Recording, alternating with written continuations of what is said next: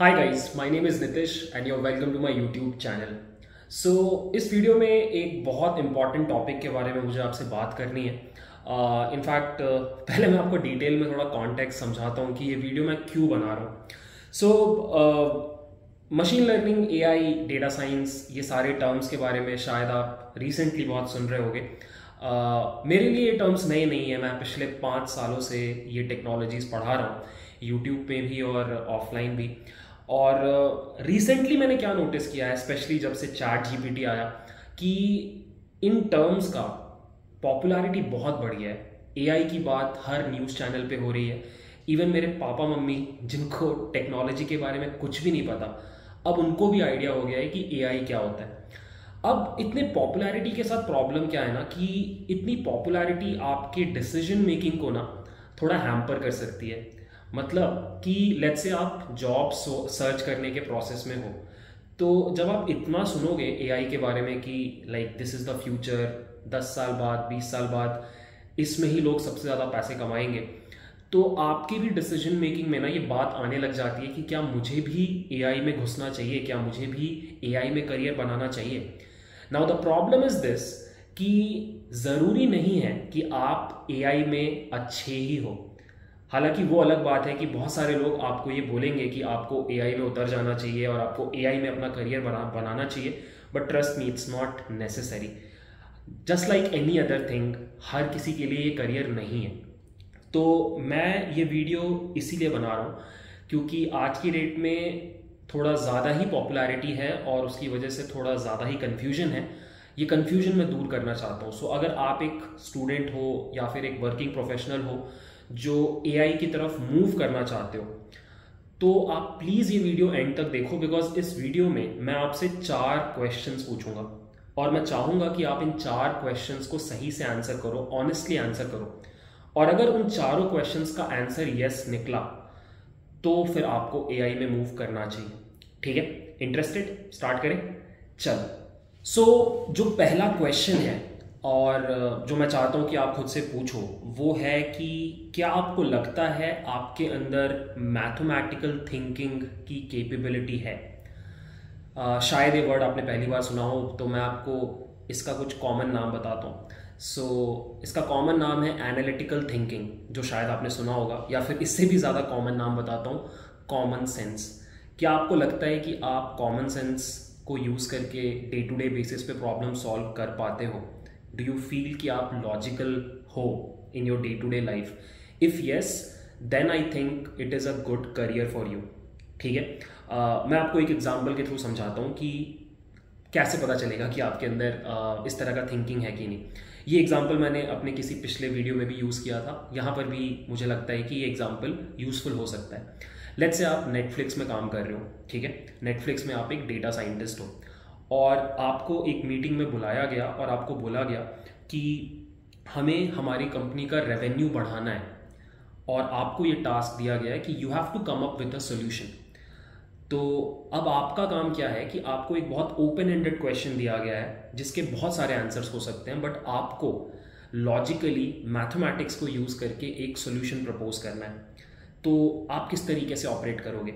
May be आप ऐसे operate करोगे आप सोचोगे कि रेवेन्यू बढ़ाने के दो तरीके हैं। या तो मैं नए कस्टमर्स को प्लेटफॉर्म पे लेके आऊँ, या फिर मैं एग्जिस्टिंग कस्टमर्स को प्लेटफॉर्म छोड़ने से रोकूँ राइट तो होता है ना नेटफ्लिक्स में बहुत सारे लोग हैं जो इस मंथ रिचार्ज करा रहे हैं बट अगले मंथ नहीं करा रहे।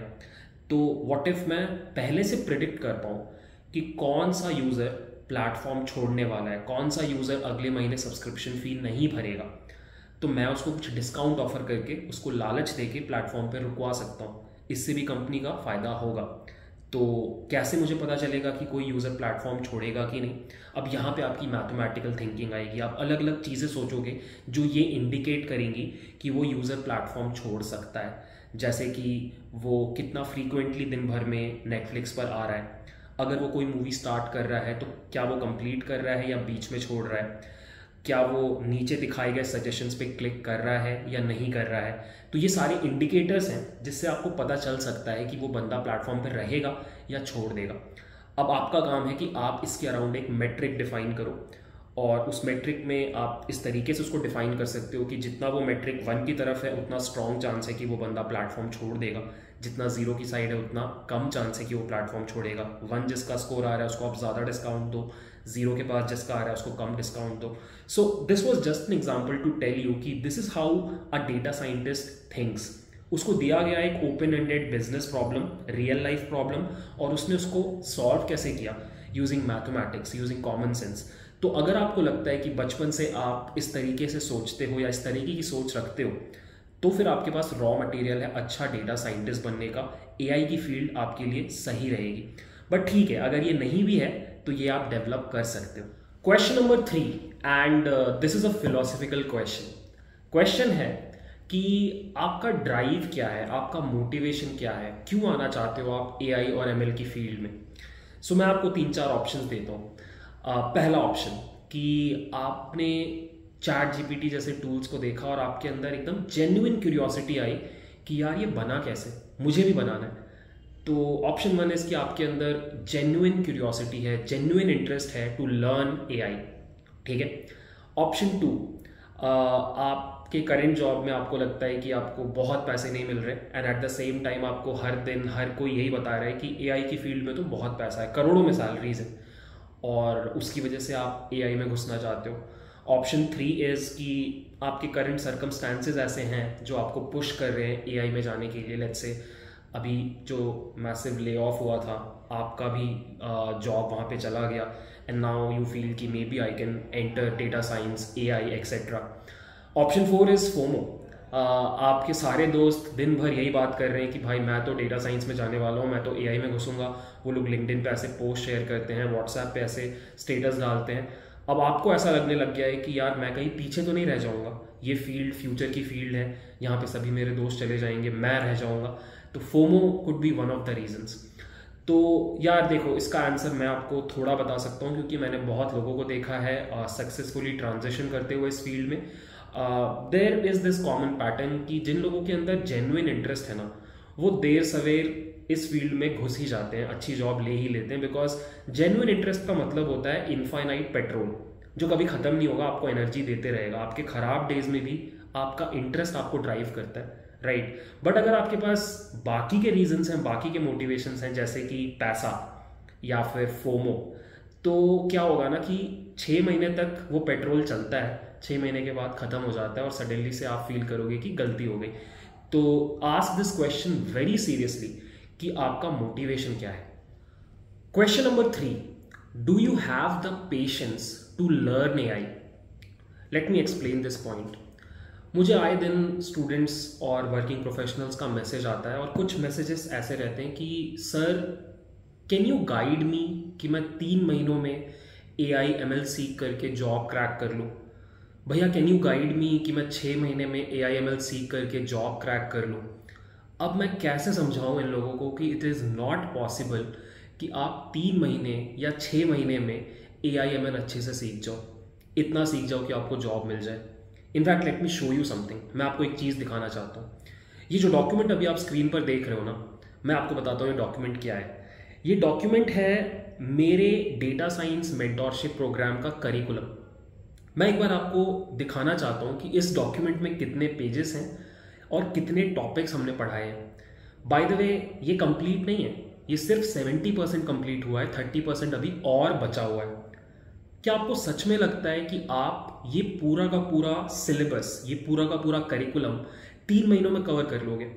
चलो मान लिया कि आपने तीन महीने में कवर कर भी लिया वीडियोस देख भी लिए रिटेन कितना कर पाओगे? प्रोजेक्ट्स कितने बना पाओगे? क्या वो लर्निंग इफ़ेक्टिव रहेगी? क्या आप सच में उस लर्निंग के साथ जॉब्स क्रैक कर पाओगे? The answer is no please have realistic timelines मुझसे अगर आप पूछो तो नाइन मंथ्स एक साल का तो आपको टाइम लेकर के उतरना ही चाहिए, अगर आप एआई की फ़ील्ड में घुसना चाहते हो बिकॉज़ इतना सारा सिलेबस अच्छे से सीखने में आपको टाइम लगेगा, ठीक है?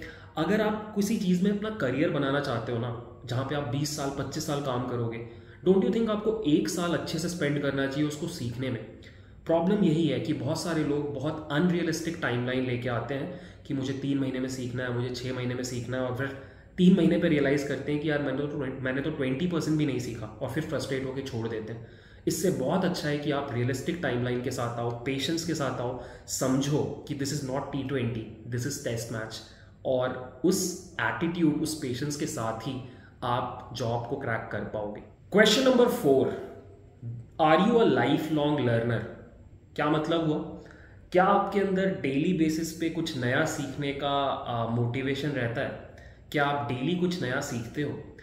दिस इज़ द क्वेश्चन तो क्यों रेलेवेंट है ये क्वेश्चन मैं आपको बताता हूँ? A I is a fast moving field मतलब ट्रस्ट मी जब मैं आपको बोल रहा हूँ कि ऑन अ डेली बेसिस कुछ नया आता है मार्केट में और वो मार्केट को हिला के रख देता है, ठीक है?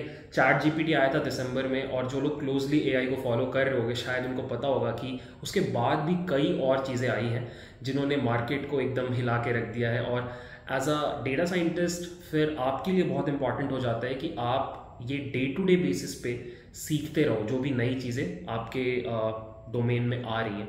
ठीक है? सो प्रॉब्लम तब हो जाता है जब आप एक लाइफ लॉन्ग लर्नर नहीं हो।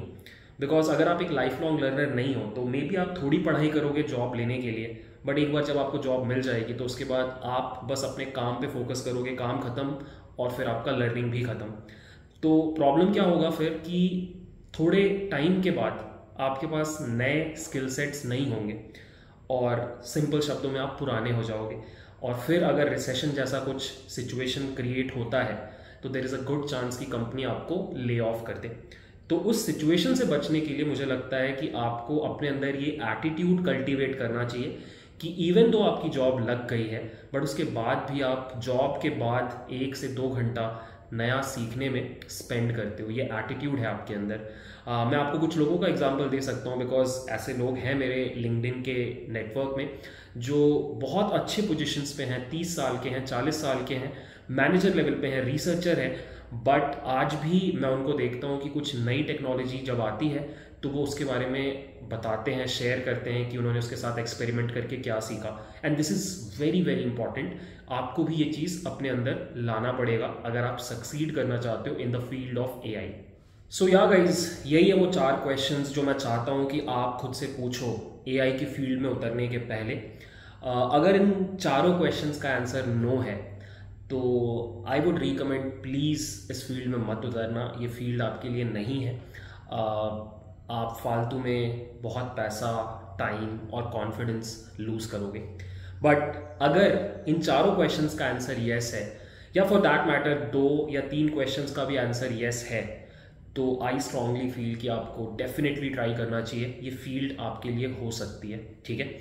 तो नक्शल में समरी यही है कि आ, जैसे व्हील का इन्वेंशन हुआ था मैकेनिकल मशीन्स का इन्वेंशन हुआ था इलेक्ट्रिसिटी का इन्वेंशन हुआ था सॉफ्टवेयर और इंटरनेट का इन्वेंशन हुआ था।